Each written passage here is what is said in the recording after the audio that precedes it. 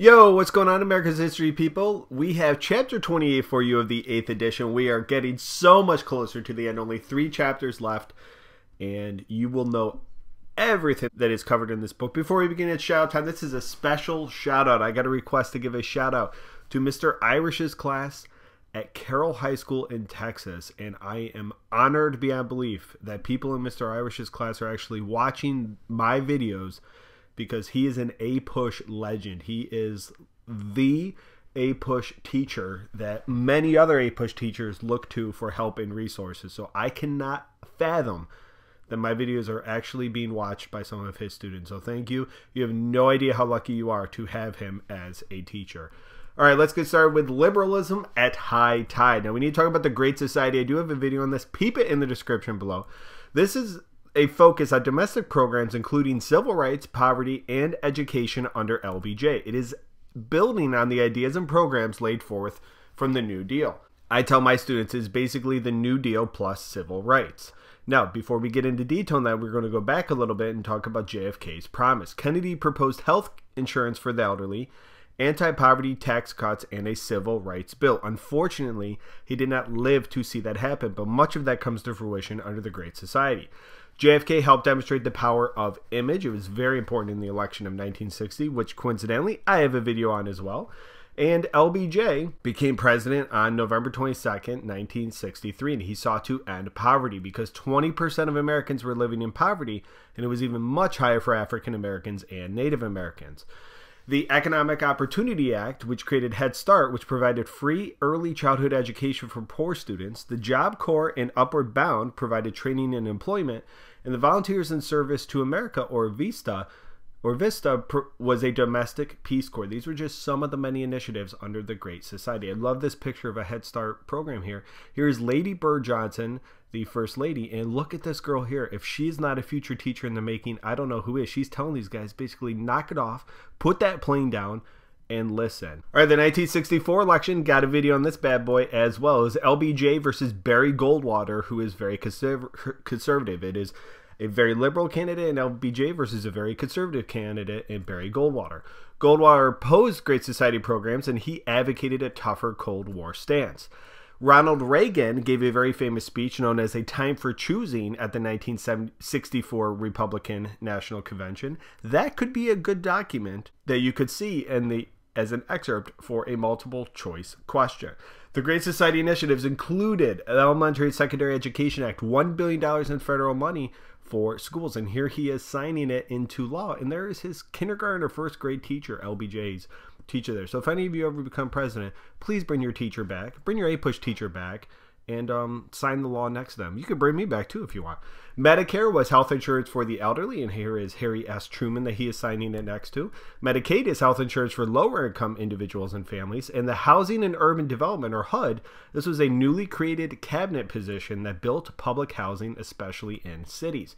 The Immigration Act of 1965 reversed the discriminatory discriminatory quota acts of the 1920s, and this allowed relatives of legal immigrants to be admitted regardless of any numerical limits the U.S. may have.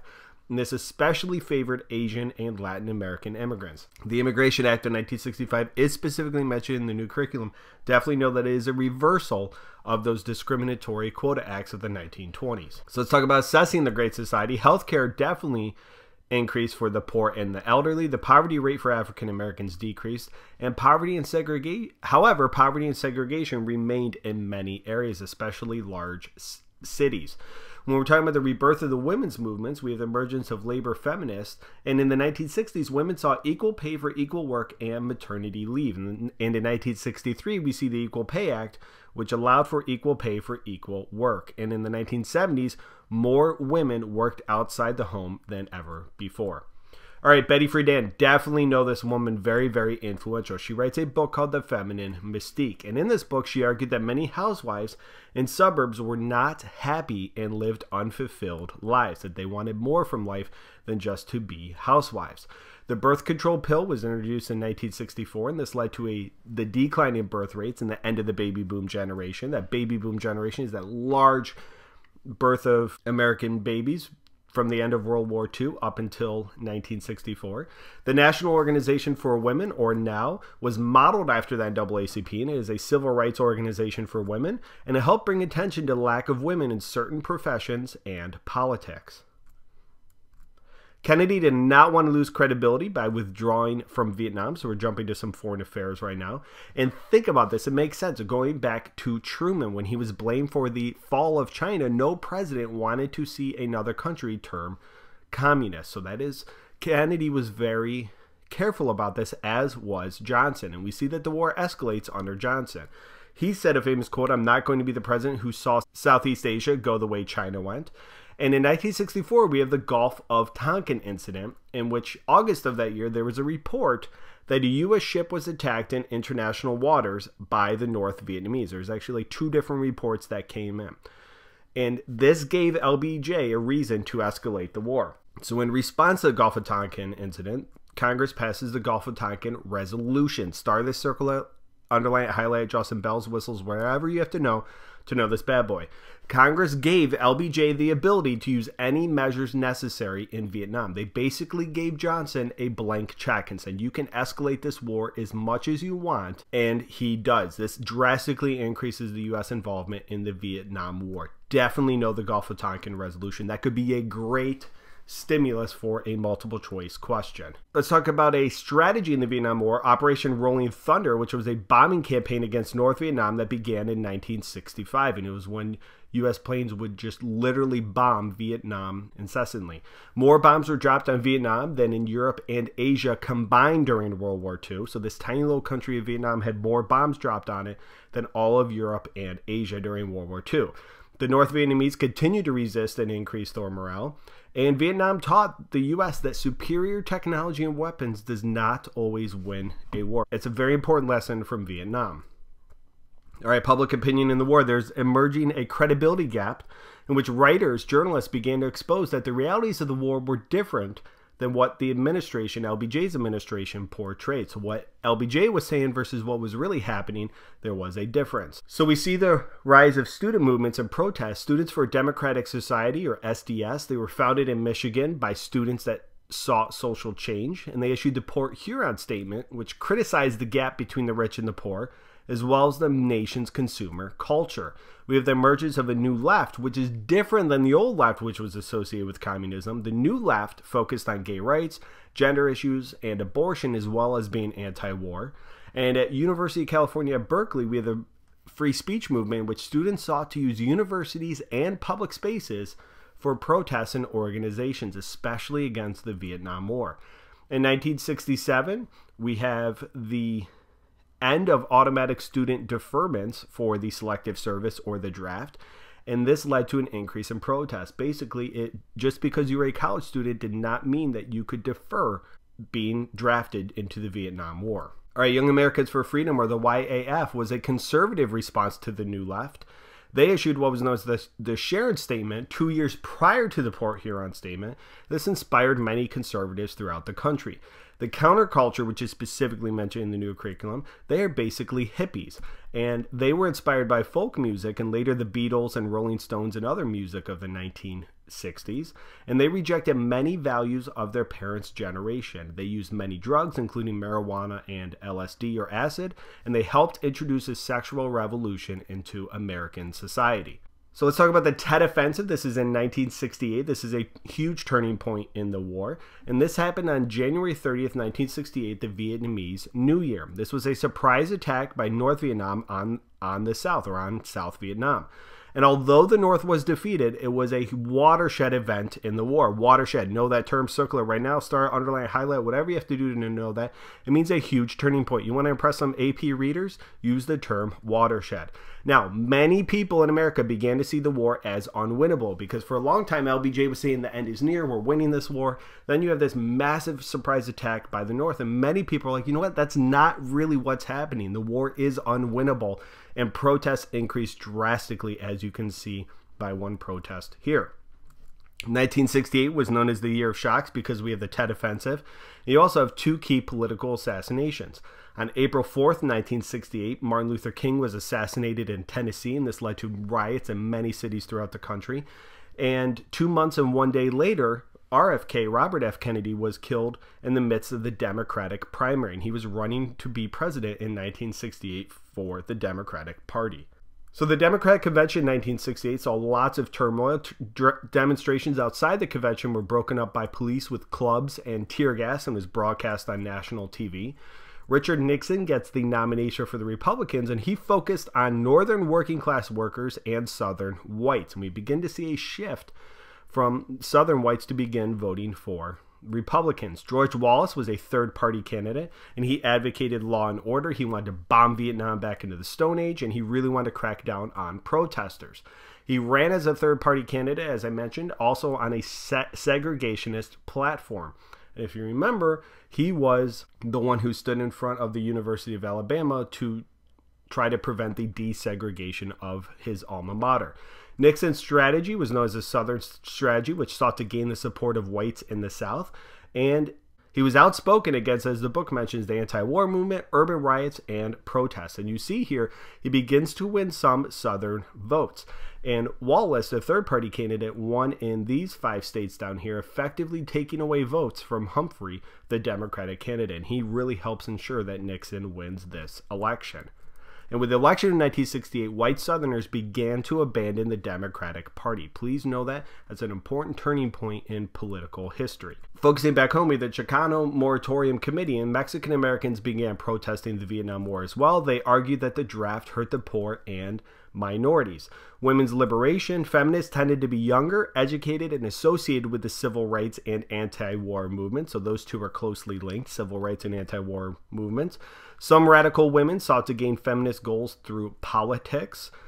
And sexual politics advocated that women must have control over their bodies in order to shape their destinies. And we'll see that abortion is a very big topic during the 1960s and early 1970s. And they focus on access to abortion and awareness for sexual assault and sexual harassment. Title IX of 1972 is a huge law, and here is one of the writers of the law, co sponsor of the law, ban discrimination in higher education based on sex, and if discrimination did occur, federal funds would be cut off. This led to a huge increase in athletics for women in both high school and in colleges. Gloria Steinem, she helped create the National Women's Political Caucus, and she's also the stepmother of Christian Bale, one of my favorite actors. Where's Gloria? Does the Joker have her? That was my Batman impression. Was that good or no? Let me know in the comments. And she helped and this organization helped sponsor legislation promoting equal rights. And in 1974, we have the Equal Credit Opportunity Act, which allowed married women to get credit cards. And the majority was Nixon's belief that many Americans supported his beliefs and the Vietnam War. And let's talk about Nixon in Vietnam. He pledged to end the war with peace with honor. He sought to end the Vietnam War, but only in a way that was satisfactory to the U.S. and the U.S.'s image. So he proposed something known as Vietnamization. This is the gradual withdrawal of U.S. troops from Vietnam by replacing them with South Vietnamese troops. So bringing more Americans home and in turn replacing them with South Vietnamese troops. In April of 1970, the U.S. began bombing supply lines and bases in neighboring neutral country of Cambodia. Nixon did this, and he and he did this stating that the North Vietnamese had supply lines in that country. This led to many protests on college campuses, most notably Kent State, in which you have the Kent State massacre of May 4th. And if you go to Kent State, located not too far from Cleveland, you will see that there are memorials there for the massacres. The My Lai massacre was a massacre by American soldiers of Vietnamese, mostly women and children, in which over 500 South Vietnamese women and children were massacred by U.S. troops.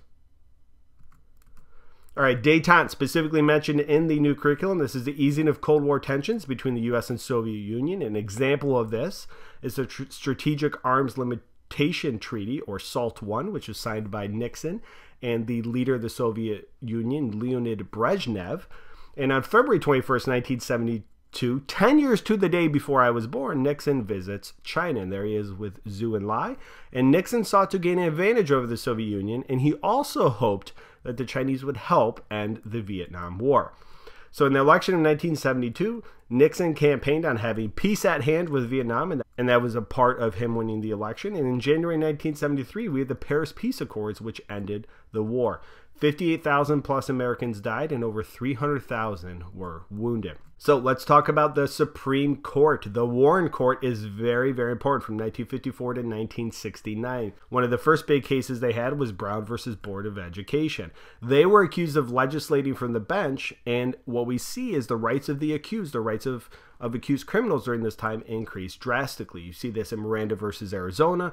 The Supreme Court says that people must be made aware of their rights to remain silent, which is guaranteed by the Fifth Amendment. And they also stated that sanctioned religious practices, such as Bible reading in public schools, were prohibited. Going back to Brown versus Board in the 1950s, schools were ordered to desegregate with all deliberate speed. However, 14 years later, in 1968, one third of Southern blacks attended integrated schools. So most Southern blacks still did not attend desegregated schools.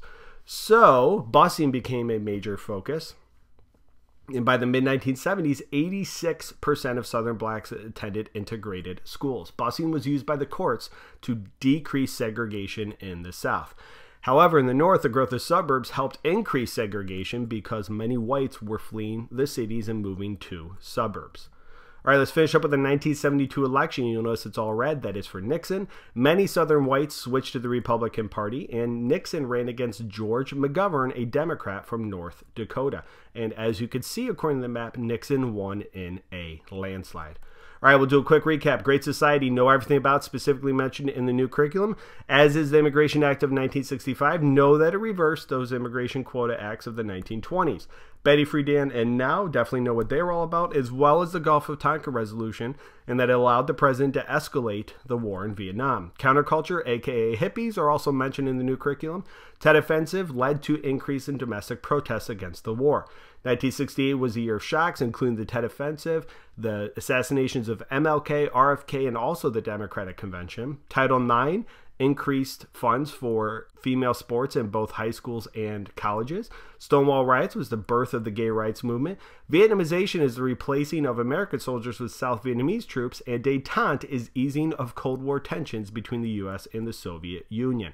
And finally, the Warren Court know that it increased the rights of individuals and they were accused of legislating from the bench. All right, we look forward to seeing you right back here for chapter 29. Thank you very much for watching. If you found this video helpful, please subscribe please share this with somebody. If you have not already, please hit that subscribe button. We only got three more chapters left. And check out other videos in the description, especially my brand new end of the year review specifically aligned to the new curriculum. Check it out. It will help you much, I promise. And I wish you nothing but the best of luck on all your exams, especially the one in May. If you have any questions or comments, feel free to leave them in the comment section below. Thank you very much and have a good day.